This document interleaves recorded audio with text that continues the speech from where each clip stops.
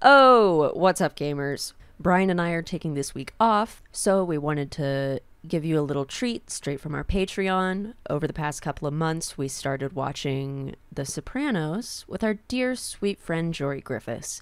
We've been having a great time doing those. We'll talk for a little bit at the beginning, and then we obnoxiously talk through the entire episode, and then we have a little discussion at the end. So, what you'll hear today is the beginning and the end of the first episode of Gabagool Skool with me, Brian and Jory. And even if you don't watch The Sopranos or you don't care about it, I really recommend these because they're like my favorite thing that we do on the Patreon. And it's mostly just us hanging out and talking about TV shows that aren't The Sopranos. But if you want to watch along with the actual episode and hear our commentary track as well as the beginning and the end, and three more episodes of The Sopranos slash Gabagool Skool, check out our Patreon at patreon.com slash Leighton Night, where you can also find our weekly minisodes, full-length video episodes. We play New York Times crosswords, we've played Civ, I make stuff in Blender. There's just an embarrassment of content. Anyway, really hope you enjoy this episode of Gabagool Skool and that you enjoy Jory as much as we do and that you're staying hydrated. See you next week.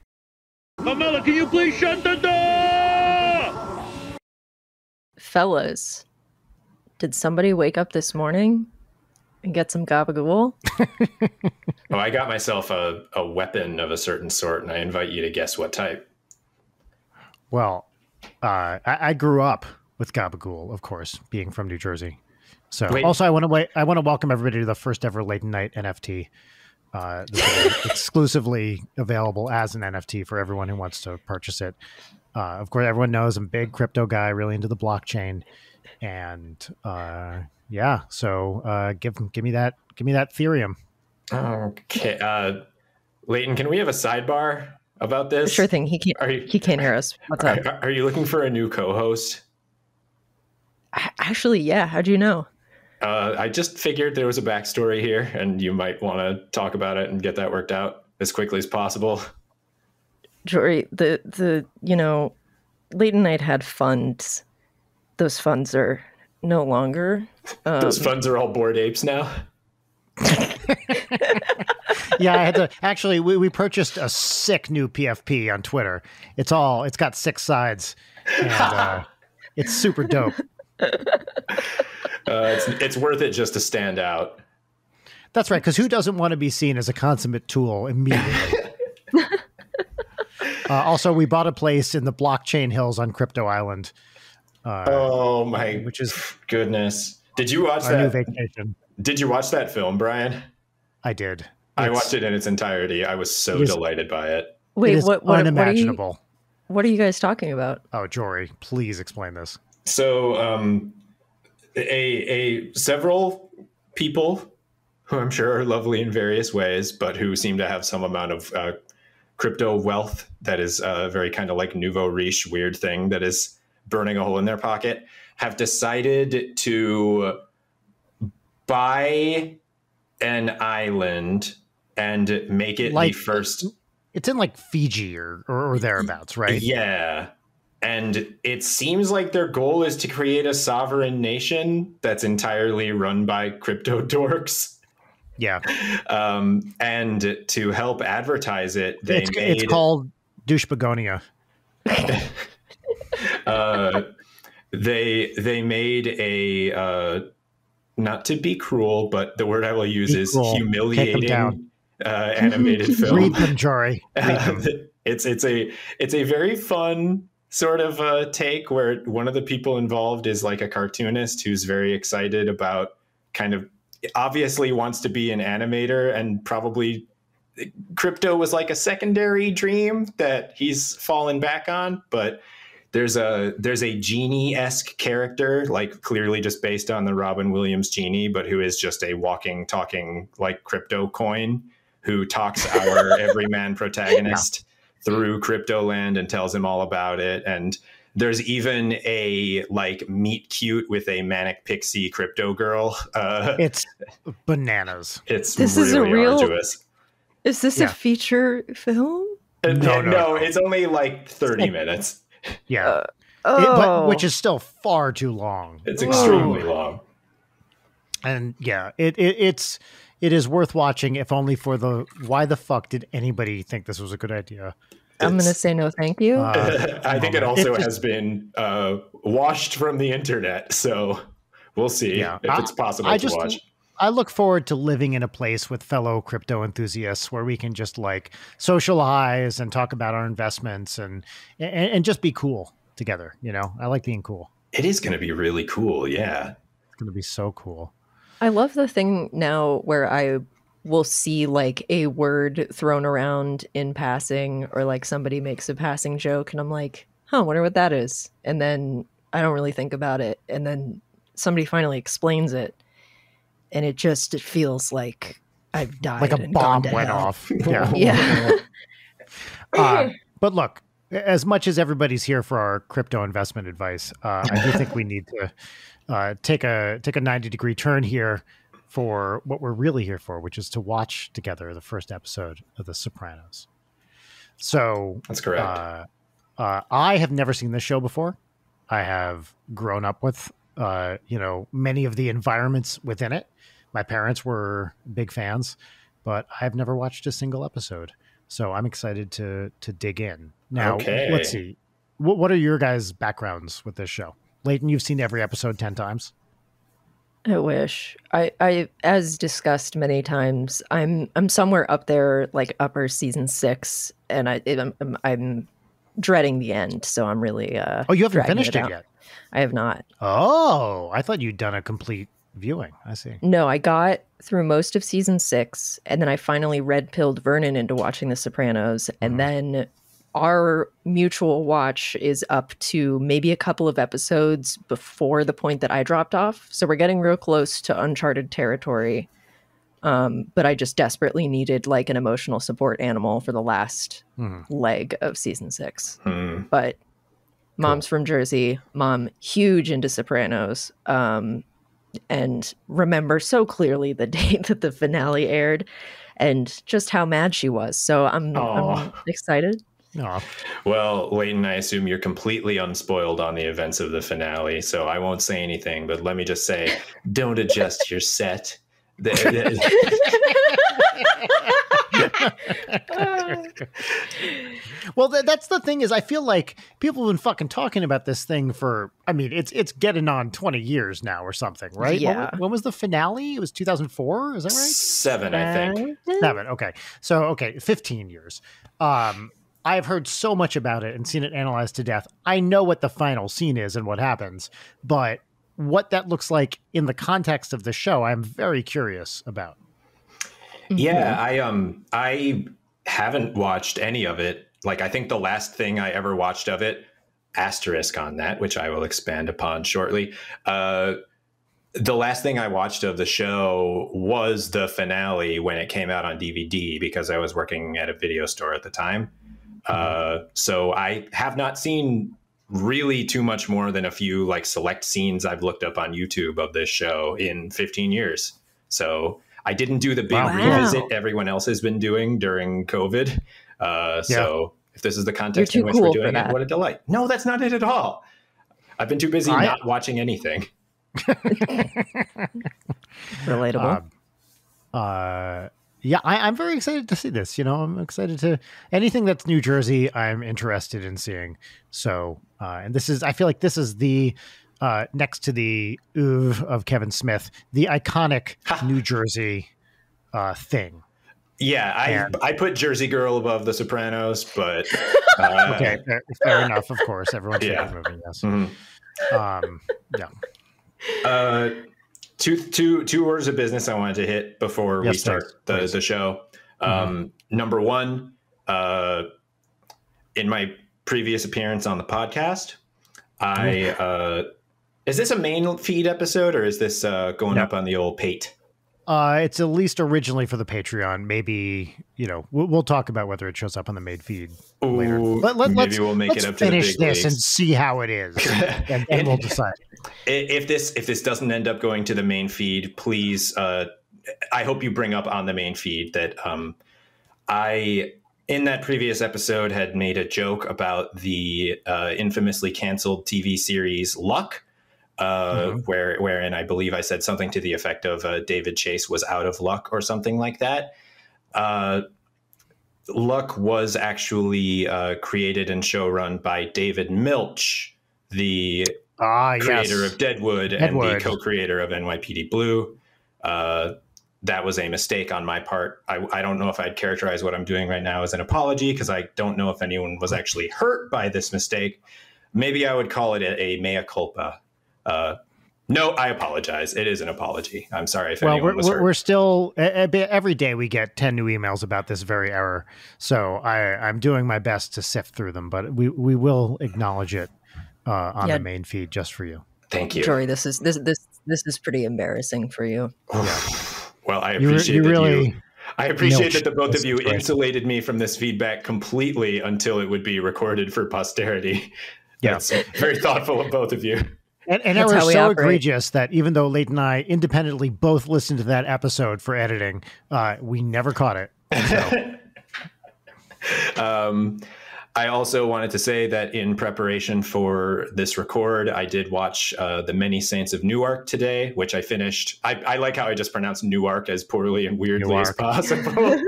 Well, do, do you know how we say that in, in North Jersey? Please do.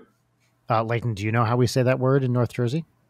How do you say that word in North well, I want to hear how you would say it first. No, No, come on.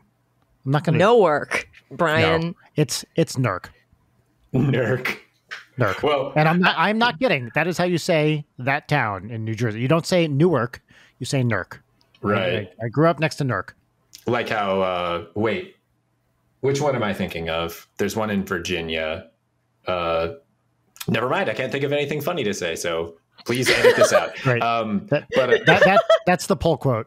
uh, um but yeah i've heard a lot of very damning things about that movie and i thought it was merely uninteresting i didn't think it Mhm. was terrible but i thought it was not particularly compelling and has no reason to exist. And it seems like David Chase didn't really care to make it and did so for the money, which I respect.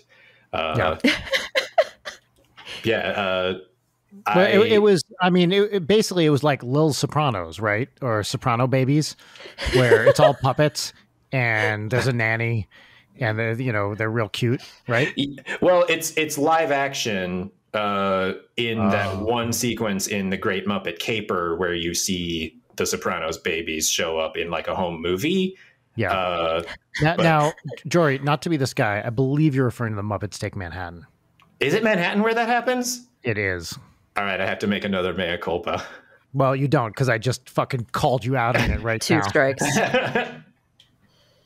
You better you better toe the line for the rest of this record, Jory. All right, we Um, got a we got I- another three hours for me to try to avoid slipping up. Uh, I'm very excited to see. Like, I, I'm expecting to see places I know in this, like What explicit places I know.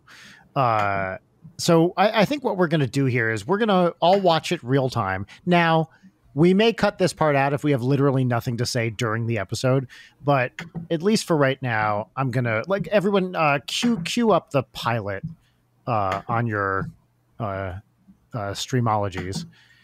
I have mine ready to go right here. The Sopranos, Sopranos or Sopranos? I'm I would usually say Sopranos, but there's no way they say that, right? They must say Sopranos. Uh, they mostly say Um, Sopranos, I think. Really? Okay. Yeah. Yeah. Um, Okay. cool.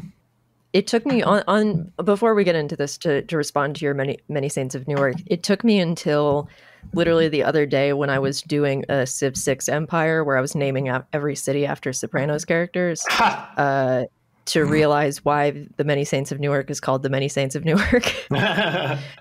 Considering how long that movie's been out it's just like why the fuck would they call it that? And then me sitting down being like all right this town is named multisant. Oh. and the way that they try to incorporate that theme into the film uh, is fucking crazy. There's like multiple scenes in it where I I do think like you know that prestige TV moment. You know we weren't.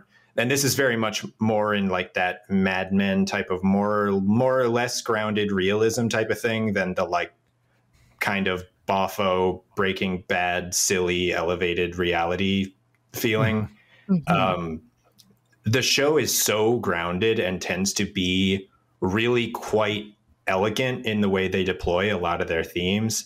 And in the Many Saints of Newark, they just say shit. They just say exactly.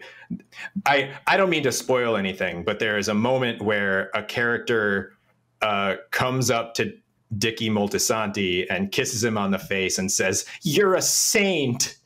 It's it's really wild. In fact, you're more than one. Uh, yeah. You're one of multiple saints that I know here in Newark. Um, all right, are you guys ready to go here? I think I am. I am trying to figure out how the timeline works on HBO Max. Uh, this is great Oh yeah, podcasting. that I like HBO Max. The interface is kind of a disaster. yeah. It's it's the the thing that I go on and click past a bunch of Harry Potter things so that I can watch The Sopranos. Oh, There we go. we did it. Next episode, my ass. Right. Um, hidden pause. All right. Oh, we gotta wait for the after credits scene. Oh, yeah. When Nick Fury shows up. I was trying to think of a way to make that bit work. Yeah. Yeah. All right, people. Well, I I enjoyed that. That was great. Um, Yeah? I'm assuming like all shows, it gets better. Uh, I mean, all well-known shows, it gets better as it goes on. But that's also like I'm enjoying this. I'm uh, I'm glad we're doing this. That's dope. Uh, Jor- Jory, what are your thoughts? see you later, everybody. Oh, No, I, I think that is a really interesting and really good pilot. I this that episode strangely doesn't. Um, it feels like a very old school pilot in the way that it sets up character and theme, but not plot. Like uh, Mm. It's like a, a modern pilot now always ends on like a big fucking cliffhanger of some kind, right? Oh, that's an And, like, interesting point. Yeah. yeah. yeah like there's there's there's like any of the characters who are like the bigger senses of like sources of like conflict aside from like one that i can think of that's a big one in season one it's like yeah it's like there's not really a whole lot of conflict in this episode it's just all uh here's dr melfi tony doesn't like this really good though and very um i know the show in general it's like something that rules so much about the sopranos is that it's like a great comedy it's Mhm. g- great comic performances and really funny jokes uh Yeah. but like that episode is like more or less pure comedy am i wrong Uh, am i off base there in how i felt about watching it It's How- way, well, I think maybe speaking to your point about it not really introducing the points of conflict is that when when you don't really know what the like main sources of conflict of the show or season are, there's more room for it to be more of the comedy. But to be fair, though, it's like a really cartoony episode within the context of the show. yeah Wh- Like, Which there- also, just how it's shot, like we were talking about with those kind of with those extreme close-ups all the time, it it, it, it feels broad, right right? Yeah. I was I was trying to put a finger on it. It's like are those are those like weird close-ups? Like are they Tim Burton-y? I can't figure out. a, a little bit. Like I like can it feels kind of Pee Wee's Adventure. yeah. Um, yeah. And the, I mean, just doing the Jersey Italian thing, which is not super exaggerated, by the way, but just as soon as you see anyone who talks like that, they kind of read like a cartoon character, right? Yeah, I, I think so. I think mainly what I come around on on this, uh, thinking about when, the first time that I watched it, because this is maybe like my fourth time seeing it. Um, it's such a great pilot for the show, but it's not. It's like okay, I love this, but it doesn't give you the full sense of how good the show is. You know, like Yeah. it, it becomes not a much different thing, but like the how quickly it figures itself out after the pilot, like I think it comes together like real quick. Yeah, I- like many of these large ensemble HBO shows, just having watched that once, I don't know who anyone is. I like. well, I it's know, great because there are multiple people who you're not going to see again because they got recast, or people that you saw in the background who are actually main characters now. So yeah, Yeah. Doesn't help that there are two pussies. Right. um, yeah, I, I agree with you. Like it, it's a it's a compelling pilot. I mean, mostly due to uh, uh, Gandolfini and Melfias Bracco. Is that that's who that is? Lauren Bracco? yeah. those two. I mean, that's the anchor, right? Uh, I presume of much of the show, and Well- the two of them together is great. It's interesting how the show kind of like weaves in and out of therapy.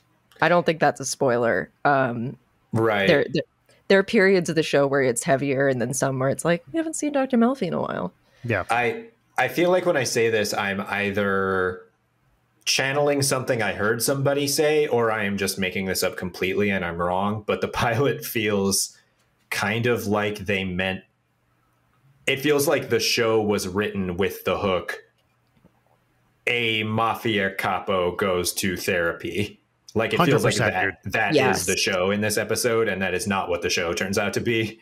that is. I feel like that's exactly how it was pitched. Yeah. Yeah. But also, that is the pitch that got me into the show because I knew that The Sopranos was like a mob show that everybody loved, but I didn't know that it was about mob guy has panic attacks and goes to therapy and sees hot MILF therapist. Um, Oh, oh so my that- god, is is that a thing? Doctor what? Dr. Dr. Milfi? Yeah. I didn't is want to say it. Did you hear me pause? no, it is for me. um, well, this is crazy. Analyze this, and The Sopranos came out the same year Wait, why are you so hung up on analyze this? because it's the mob guy goes to therapy thing, right? So was this a pitch that bifurcated, and someone's like, "We're going to do the drama version of this. We're going to do the straight comedy version of this." You know, I it's don't just think they interesting. were related. No, I, am sure they weren't. But you know, sometimes things are in the zeitgeist or whatever, right? Uh, yeah. so it is. It's very interesting, and this is something I did not pick up uh, at the time. That these two mob boss goes to therapy things happened at pretty much the same exact time. Yeah, That's- that's- exact same moment. That is weird. really interesting. Yeah. May- and- maybe once in on this discussion. I mean, get, to to be fair, maybe it's just because I've seen too much De Niro doing this kind of stuff. But uh, Gandolfini is a little De Niro-y, right? A little bit.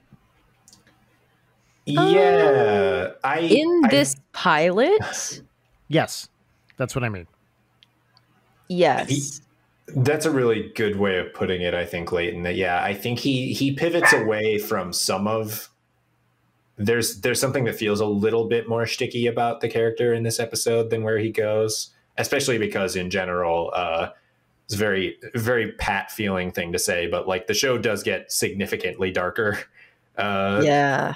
so I, and I just think that I, it I mean and, and also like that's the bit of the show right like i- i- in doing this like second watch but again not spoiling anything it's just like seasons one and two are like oh this is just good vibes. Like that shit's happening but like we're all we're out we're all having a good time. Season six is just like butthole clench like oh my god jesus fuck. Yeah, that is kind of like uh, it seems like a lot of prestige shows, or at least like this kind of moment. This I feel like Sopranos is arguably the first, but like this moment where these shows are kind of being conceived with refillable premises, and then a few Mhm. seasons in, they've more or less changed their mind and they've seen which way the tide is turning in terms of TV. And again, like I think Chase is the guy there, but like I think Mad Men did the same thing where like after season three, they completely blow up the status quo of the show. Yeah, they like. I mean, Mhm. they go to California for a while, and it's Uh-huh. like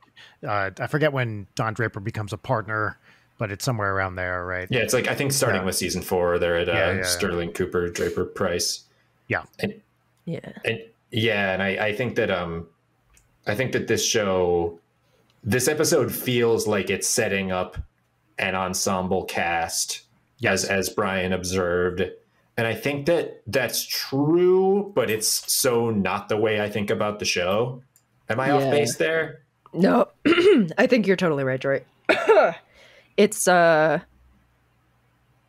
I'm not sure how to articulate any of it without being uh spoilery. So It's tough. I know I, I have so much I want to say. Multiple of the most absolutely insane things about many Saints of Newark are spoilers for Yeah. the show. I- I- oh, I I, so- really I so- to talk about it. Yeah, Jory, I so desperately want to talk to you about it because I didn't think you were going to see it, and I haven't seen it.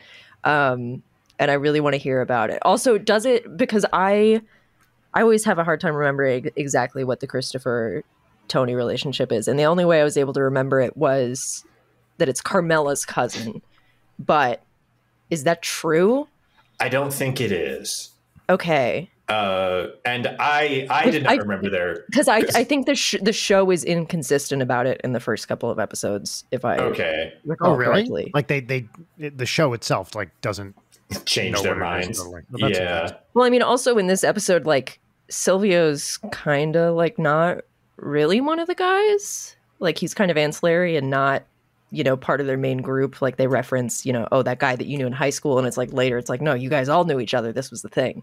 Yeah. Um, no, and I um I think that after thinking about it while we were watching the show, um when I was confused about who Big Pussy was, I had seen Big Pussy in my periph in that opening scene and thought that it was Bobby. And you're what? Ah, yeah, yeah, yeah. We don't see Bobby until later. Yeah. Yeah. I like completely forgot about that. Well, the Uh, show yeah, is and- also really great about like there are characters who were kind of like g- guys smoking in the corner for like four seasons, and then in seasons five and six, it's like you get an arc, and you get an arc, and you get an arc. Wow. Yeah, once they have room to really expand, it's like instead of running run out of running out of stories for the main people. I mean, pretty typical. Like, It's You know, mostly like let's let's just stuff. spread the suffering around a little bit. Like Mhm. let's let's make sure everybody gets some of this. Yeah, I I wonder if maybe the I am very curious. Like I think episode 2 is going to be really fascinating to watch for me and seeing that the seeing how gradually the direction changes because this does feel like the pilot for and don't get me wrong, I think again Sopranos is a very funny show, but uh it's not a comedy and uh this this episode is like more or less all comedy. It's like even even the Czech dude getting killed wasn't really played as a big, serious, dramatic moment.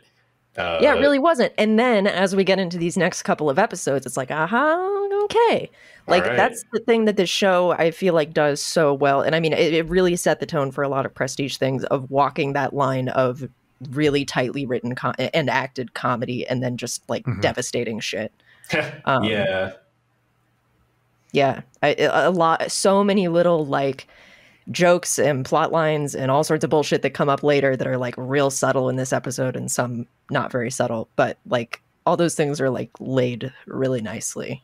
it's really elegant, and yeah, I think I think a lot of these shows too around the same time. Like, um, it's like I would say that this is sort of the opposite of the um, the uh, bless everyone involved, bless the show. I loved it and still love it with all my heart. But like the the lost mystery box kind of being like, we're gonna put in a ton of shit, but all of the mystery is just a blank thing we have to fill in later.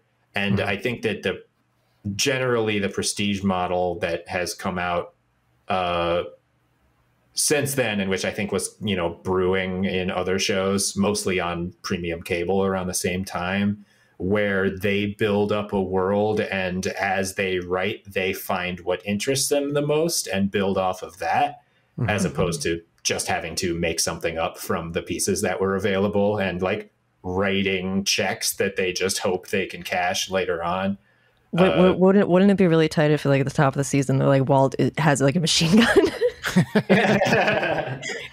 Surely Well, we can. we- We'll figure that one out, right? We'll figure that Adam one out. and Jamie tested that myth, and it was not busted, Leighton. That machine would work in the real world. I guess uh, Walter White really was the smartest guy in the world. I'm I'm curious how the process of pitching shows has changed from when this show was pitched to now, just in general. You know, like did you need to have the five season arc or whatever, or even an idea of it? I, I know nothing about this world, so I, I'm I'm curious how that whole thing has has gone.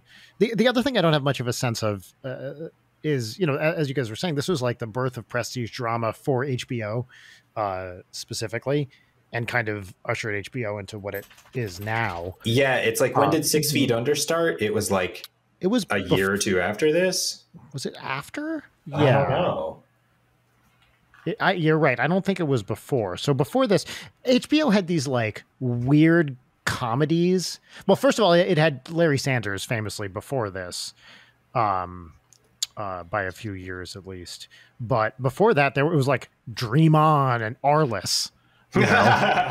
uh, uh, 2001. Yeah, so two years later was six. okay. Um, and and it's like it's like anything that they actually produced with any care was just like a fill in between episodes of real sex and taxi cab confessions and stuff like that oh, real sex. Uh, well, don't forget, this is airing at the same time as Mr. Show, too, right? On HBO, which is uh, That's such a fun Mr. thing Show to think like about. season three or something around now probably two. I think, sh- Miss- is that right? Yeah, i think it started in 97 Oh, yeah. It was 97 or 98. You're right. Um, but yeah, the, the, I, I'd be very interested in reading a like a chronology of the HBO original programming from, uh, you know, I guess it would be even the mid to late 80s to the present day, but at least up through the, you know, say mid 2000s. I think the answers to a lot of the questions that we have posed here are things that they absolutely talk about in episode one of Talking Sopranos, which I Mhm. do highly recommend as a little um, aperitif for each episode. But I would totally recommend watching more of the show before you start getting it. And I'm Yeah, mostly saying I- this to the audience. Um, Talking Sopranos is great, but it, you you want to get into it like at, as a little like bonus after you've gotten into a few seasons of like okay cool now i want to follow up because they're really thorough and they talk about like a lot of the decisions but i think it's better to like get into the show first Yeah. and then okay Yeah, I don't want to. Do, I mean, I'm presuming most of the people listening to Talking Sopranos have seen the entire thing probably multiple times. i assume so, So that's fair I- but it is also when i was watching through it for the first time maybe around season four i started like maybe watching an episode after i would watch it because they go through like they'll interview somebody who is on the show and then they go through the script and just like talk about it Mhm. um and it's really fascinating i think michael imperioli is just like the coolest fucking guy steve Schirripa, he's fine Um, which is really funny because i got the host? Uh, he's the co-host, and he's a character that you won't meet for a while. Mhm. Um, and it's funny because I got through. I had watched more of Talking Sopranos than I had gotten into that character's storyline, and uh, this is again, this is just like inside later seasons of baseball. But I watched scenes with his character, and I going into it like mostly being familiar with Steve Schirripa from Talking Sopranos. I was like, I'm I'm almost determined not to like you, and it's like, damn it, he's he's such a good fucking actor. he's just really annoying on the podcast he does. that's delightful That's not fair, Steve Schirripa. I'm sorry, you're great. It's Talking Sopranos is fun. It's just whatever. yeah expect an angry email from him after We should this do. episode. Should we do a, a a late night, like a talking late night show? That'd be like a post podcast kind of show about the ins and outs of the production, right? I mean, uh, I don't, I don't have any weekly podcasts going right now. If you need somebody to host that, Oh, dude, Jory, if you were to do like your own like breakdown of every episode where you just comment on everything after it comes out, that would be probably my favorite thing ever. what a disaster! It's like we go, would be great. we go into it with the goal of it being a tight twenty minutes, and then it turns into just a rambling mess.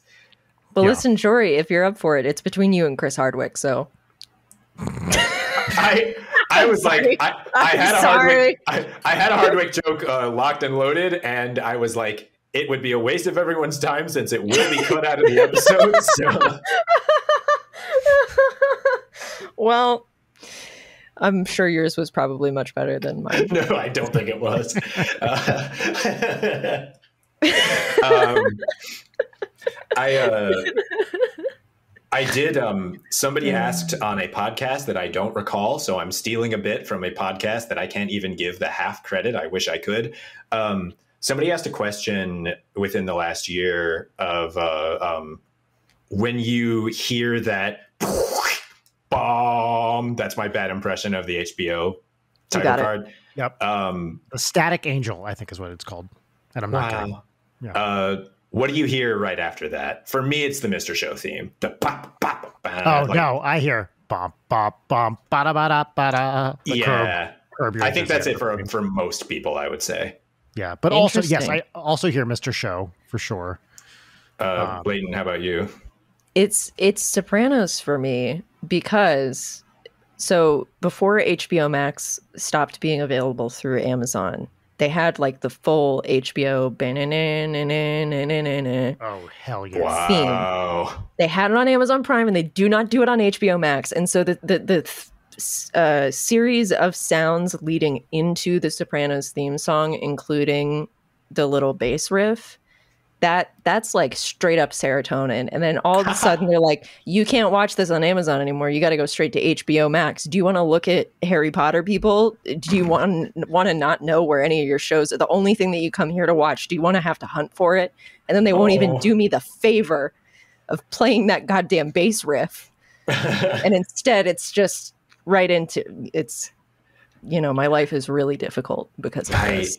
I don't remember, I don't know if I addressed this on or off mic, but uh, the um, I thought I was going to activate HBO Max to watch The Matrix uh, Resurrections, and then I saw that I had an account. And then I checked, and I had been charged for the past like eight months. I, it's a, this, the, the stratified subscription services just drive me up the fucking wall. I hate it. Uh, Sounds like I'm- a real red pill moment. I just yeah, I I, am red texted- pilled now. I just texted you to a link that I was watching recently, not because of this, but because I was curious. Um, let me know if that came through. Oh, you specified only that Jory, this is meant for you. No, no, it's for both of you. I can also put it in the chat here. If you Leighton, you're welcome to watch it.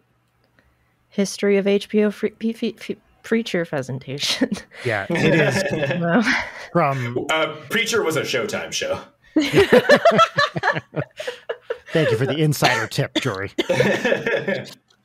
Uh, these intros are so great, and they are very much of a time.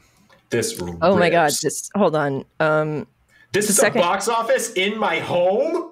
yeah so this is these are for i I don't think i said this uh these are all of the hbo introduction like graphics and music from the mid 70s whenever it started 76 or something through i don't know the 90s That Um, rules. Check your RSS feed. The link will be in the description of the episode.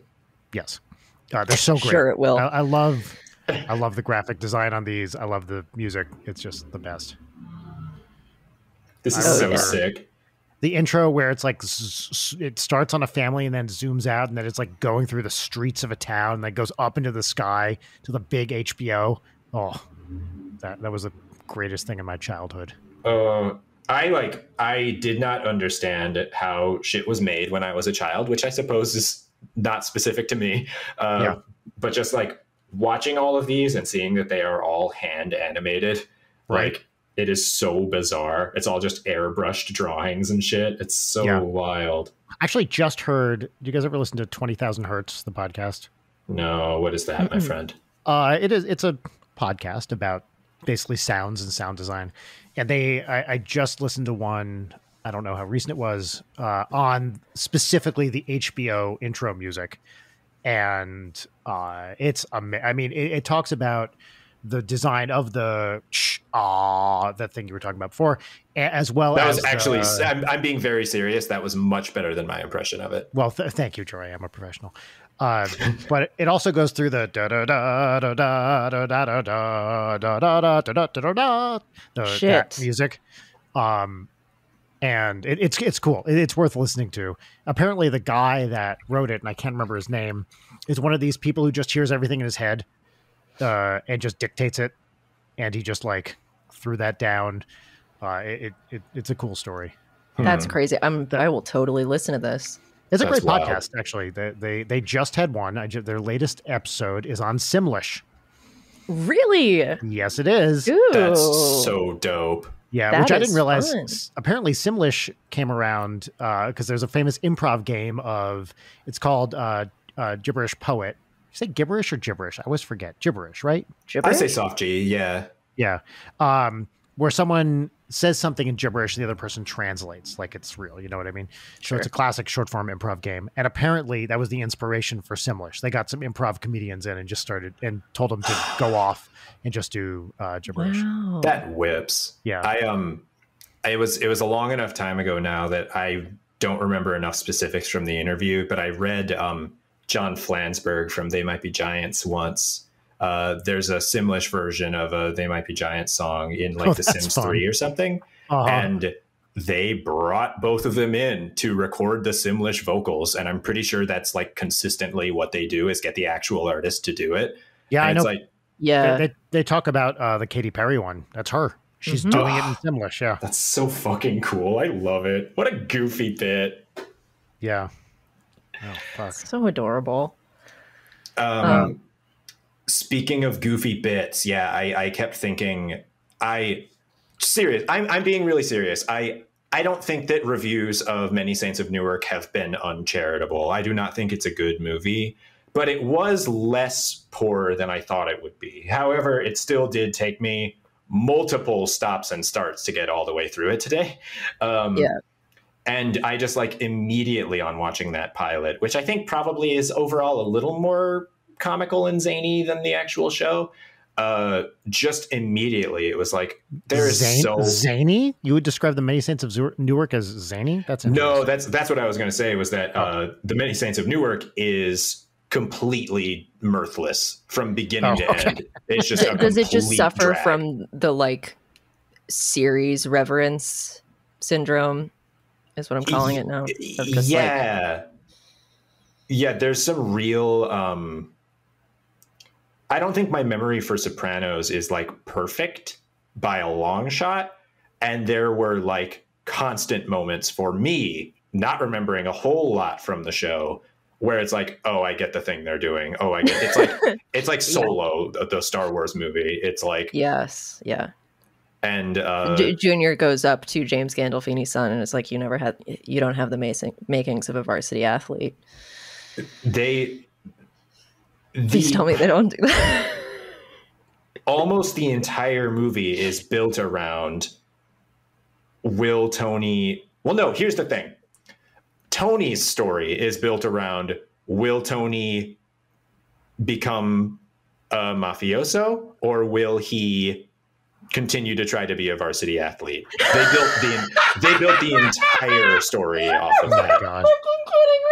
Um, and Whoa. also what? the the movie was promoted as like I think the tagline is like literally who made Tony Soprano. Mhm. And the movie is not about Tony. And actually Michael Gandolfini It's is about- really really good in it. I believe Um, it, but it's about Dickie Moltisanti, right? Yeah. Considering and- who the movie is narrated narrated by. yes, and there is a really wild for anyone thinking about watching Many Saints of Newark who hasn't seen The Sopranos. There's a really wild spoiler at like 14 seconds into Many Saints of Newark. It's Oh, really? wild. Yeah. That's like the Um, one of the few things I know about that movie. It's like, It's- hmm, bold move. absolutely buck wild the choice um and then at the end of the movie it i it there's a beat that i actually thought was like kind of cute like it felt it felt like kind of one of the dreamier moments from the show and then suddenly it's a scene that focuses a little on Tony. And again, the movie has completely failed to resolve the question of whether Tony will be a mafioso or will become a varsity athlete. And all of a sudden, right at the last moment in the movie, you hear that bass line and the theme song from the show drops. And it was in that moment, I was like, no wonder people have a negative impression of this movie. it leaves you on just the wackest, shittiest note. Like playing the theme song from the show as the credits music was just awful. It's so bad. Oh, I didn't know it did that. Oh, oh. oof. So anyway, that's I will axe say- to I- grind I'm- today. I, I am interested to watch it. I will watch it after I finish the, the show, despite already knowing what those big fat spoilers are. Uh, I do really like the parts of the show where it does do flashbacks to that period. They're really I do remember them being much better than this movie. Yeah. they're really great and like characterful and impactful. Whatever. Okay, we're get, we, we're just talking about the pilot. Yeah, we're uh, not. did I, I, I'm curious. Relatedly, in another, uh, let's make a movie later thing. Did you guys see El Camino? I did. I, I, did thought it was pretty good. I enjoyed it. Like, I I sort of feel like in the same way that like Last Jedi and Rise of Skywalker couldn't be good movies because they kind of had the the debt from Force Awakens and it just kind of damned the trilogy. Mhm. That's didn't mean that that came out as a scorching hot take and I didn't mean for it to be. But um uh I I have enough problems with the Breaking Bad finale that that movie as a sequel to the Breaking Bad finale, I think it's just saddled with a couple of things that I just like so fundamentally don't work for me that such as Jory, Jory, will you please talk about the Norm Breaking Bad Twitter thing that you sent me because Side, sidebar for the unfamiliar. Uh, I Norm Macdonald has been on and off my radar my entire life, having loved SNL as a kid and everything. Um, he he he came back into my life having just said that I had issues with the Breaking Bad finale. I just adored him again because he did this Twitter thread where he insisted Breaking Bad was the greatest show of all time and that the finale was truly great because it was a dream sequence. It was it was Walter White's dying dream uh, of he's still alone. Breaking Bad spoilers, right? Are we worried about that? no, go. No, nobody cares. Go. um, it's it is Walt's dying dream, still alone in the cabin in Colorado, dying of cancer, because the finale was so fundamentally asinine and silly that there was no other possible way Norm Macdonald could allow himself to read the events that occurred in it. Um, and I and he like argued with people for days after posting so this theory fucking funny. and it's and it's like pointed sharp incisive critically interesting analysis of the episode um i i think i'm i actually coincidentally just randomly bought on youtube and watched the breaking bad finale a couple weeks ago having not seen it in a really long time Mhm. and it's it's frustrating because i think it's such excellent filmmaking but i think Yeah. it just like Why did you do that? I, I don't know. I don't have an answer for that question. I so it all makes character sense, but I think Jesse murdering Todd just felt so bad to me. Like I was just like, it's not something I'm happy to see happen. It's probably cathartic for him after everything that's happened, but I just don't understand why we want to see Jesse kill people. Do we mind El Camino spoilers? No. I don't care. He kills like two or three more people. Yeah, he kind of goes back and What? like takes motherfuckers down. And yeah, it's like I I don't want to see Jesse kill people. Jesse doesn't want to kill people, does he? I, I was very puzzled by it. That said, I think Vince Gilligan is a really great filmmaker, and I think it's a really watchable movie. I just think like on a character level, I was really bothered by it. That's an interesting take, Jory. I didn't mean to be too negative in your response after you said that you you liked No, no, no, movie. no. But well, because I watched it having only seen Breaking Bad once all the way through, and then uh, didn't remember a lot of Breaking Bad when I watched it. So actually, I enjoyed it, but I was confused because I also forgot who most people were. yeah. That's really interesting. Jory and I have spoken about Breaking Bad very, very extensively uh, off of this pod, but I- I've rewatched. Th- that's like maybe one of my most rewatched shows, and not proportional to how much I like it in terms of general shows. Like I love it, but it's not like my favorite. But I've rewatched it so many fucking times I just because there's a tier of my depression that's just like, yep, we're doing it again. Let's go. I have to say, I, I like Breaking Bad a lot. I've seen the entire show twice, uh, once on tour, and uh, the thing that colors everything to me is I can picture how annoying it must be to hang out with Bryan Cranston. Every time I watch the show, I'm like, oh, this, oh, no, it's, I don't know. Like, I'm sure he's a nice guy, but he's just one of those he's- people I watch on screen where I'm like, I don't need to hear about your craft, bro. Yeah, I was gonna say, do you think he's self-important about it, or Look, I- I'm basing this on literally nothing except uh, wishful thinking, but uh, the wish the wish we all have of being Yes. better than Bryan Cranston? well, look, look, as a fellow Brian, right? We have to we look out for each other, and when there's someone who needs to be put down, we we take that very seriously. Um, but it's yeah, like I don't know. Uh, for for all the raving about Bryan Cranston's acting in the show, it, and he's good in it. It just, I- I guess, I don't have the same awe for it that so many others do.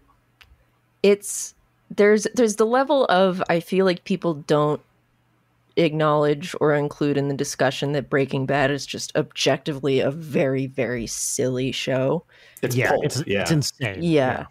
Um and also like Walter White is one of the most hateable characters. He's the and, worst fucking person in the world. and I think Bryan Cranston really sells him being just the most insufferable. Um Self-serving asshole for sure. Yeah, I mean, even just like his mannerisms and every like you just I, I, having rewatched the show many times, uh, I just loathe him, hate every second. Any moment Anna Gunn is on screen, I'm just like, oh, thank God. Okay, Whew, yes. Well, I also can't watch it without thinking about that time Dean Norris tweeted the word "sex gifts." Sex gifts. what, what an immortal moment. Clayton, have you not seen it? no. It D, Dean Norris, and this is maybe six years, no, six or seven years ago. Yeah. Uh, just out of nowhere, tweets sex gifts. No explanation, and doesn't delete it, doesn't acknowledge it. has truly i and i mean all credit to dean norris He- he wanted to see some sex gifts he's a kind of an older guy so he doesn't know what he's doing fair enough so legit that that tweet is still online to this day Funniest thing in the fucking world. Sex gifts. sex gifts So every Oh time Hank God. walks on the screen, I'm like, "You ready for some sex gifts, buddy?" That's how I felt. Um, because I think sex gifts happened after the finale. But when I was watching Under so, the yeah. Dome, you better believe I could not stop thinking about it. Yeah. Uh, I think we were approaching the two hour mark, so I think this is a good time to wrap Well, it up. Well, we this, stayed this kind was, of on topic at the end here. eh, whatever. yeah. Yeah. Um, so I don't know. Sopranos. uh, yeah, well, we'll, well, I think the plan is to keep doing this. Uh, if I ever, would love if- to. yeah, I, I, I, I think this is a great way to watch the show. this is a Uh, great way for me to force my friends to hang out with me. well, also that. Um, uh, but yeah, we'll we'll uh, we'll put this up and see what people think, and hopefully we'll do it again real soon. But I, I, I think this could be our first uh, regular Patreon only series. You're saying that like we don't have other regular series like the, the minisodes Well, or the cross? well, I mean, like the- spec that aren't the the usual minisodes. I mean, like a specific Patreon only thing that's not just the minisodes. right. Is this going on a higher tier? No, No, that's why it's an NFT. Yeah, Actually, wait, Oh, wait, I wait. Before we that. sign off, before we sign off, I, I have to find a tweet that's relevant. Um, hold on. Oh, I'm so glad you got a mechanical keyboard so we can really get like the hacker insight into this. It makes it really difficult to sneakily Google things. Um, I use my phone. okay, thank you. This is my favorite. This is my like the only good tweet. What, what do you are you? Oh, there it is. Sorry. It's in the chat. I know how to use that.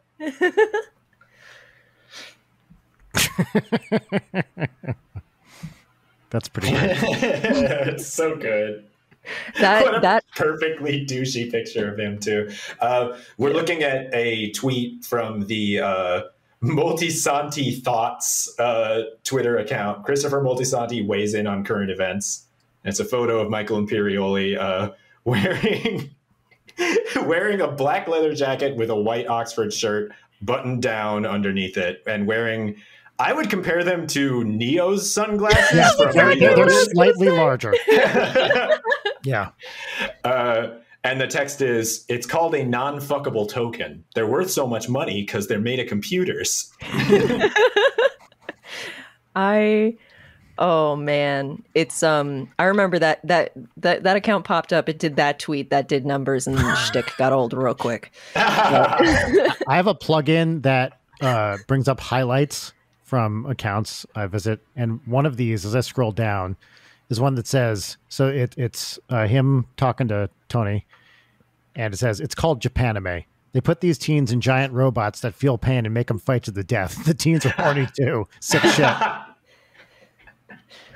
I mean, honestly, Wow. pretty apt. Yeah. All right. Well, they're is- called non-fuckable tokens. Uh, see y'all next time. Oh wait, wait. When we do, when, can we do the Wow, little like um HBO like sign off? Like Should we the do it together? I feel like that would be the way to do it.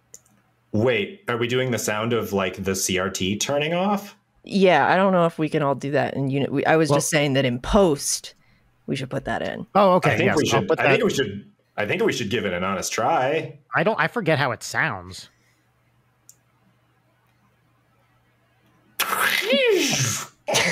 All right, that was it. That's There it it. is. We, yeah. Thank you. Bye. Bye.